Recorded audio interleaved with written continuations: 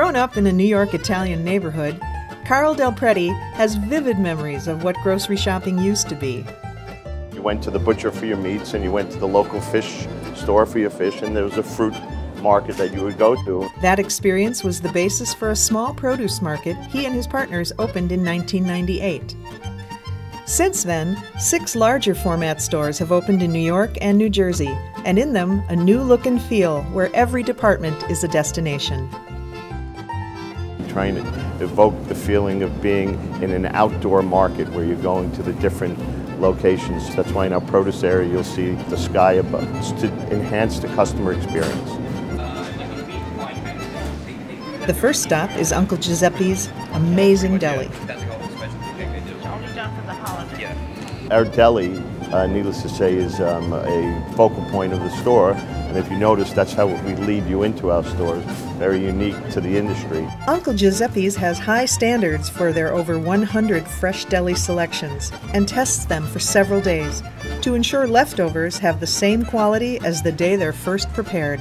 Three days it has to be. It has to be the fresh made version, the one day version, and the two day version. So and that's how we taste test any of our dishes.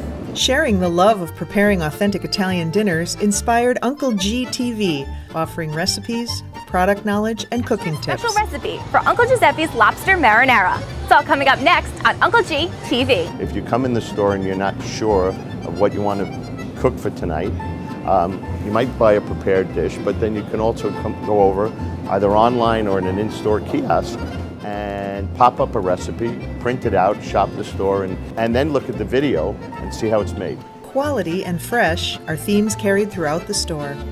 We have fresh prepared seafood dishes ready to take home um, uh, as we do in our deli case. Same principle applies. All of the cookies, biscotti, uh, pastry, made in-house every day. The warm mozzarella made um, during the day. Uh, and then we have our pasta section where the fresh ravioli are being made, um, and the fresh shells stuffed. Now people come here with the idea of wanting to uh, experience the luxury of good food at a very reasonable price, by the way. I mean, it, it's not expensive to eat well at Uncle Giuseppe's. Over the years, Carl and his team have developed relationships with growers and manufacturers in Italy and offer imported items throughout the store. Products that have earned the G brand convey a special message to customers. The customer knows that if they see that G, that the quality is there. And everything with that G on it is value priced. So that's going to be less expensive than your typical high-end provolone, but the quality is the same. In addition to the Italian market, Uncle Giuseppe's stores have a complete grocery offering and stay on top of what's new. You'll see an entire section of kombuchas uh, that have become popular.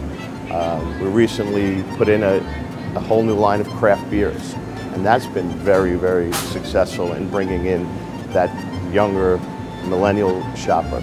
Carl is particularly proud of Uncle Giuseppe's nearly 1,400 employees and their commitment to customer service. Hello, Lou. How Hi, are you? Good morning. Great. Good morning. Every, how's everything? How, how, how are we looking? Beautiful. Here? Everything's Doing wonderful. great job. Thank you so much. Fresh as tomorrow. Fresh. There you go. It's really important that when a customer come here, they feel like this is their store, that they're comfortable, and that the person behind the counter that's serving them wants to serve them. And we, we so we look for that kind of um, energy and enthusiasm in the employees. And what's the final impression Carl wants customers to have as they leave the store? I think we have it up on the uh, up on the wall. It says "Chi se mangia bene," and that means in Italian, "Here one eats well." I think that sums it up.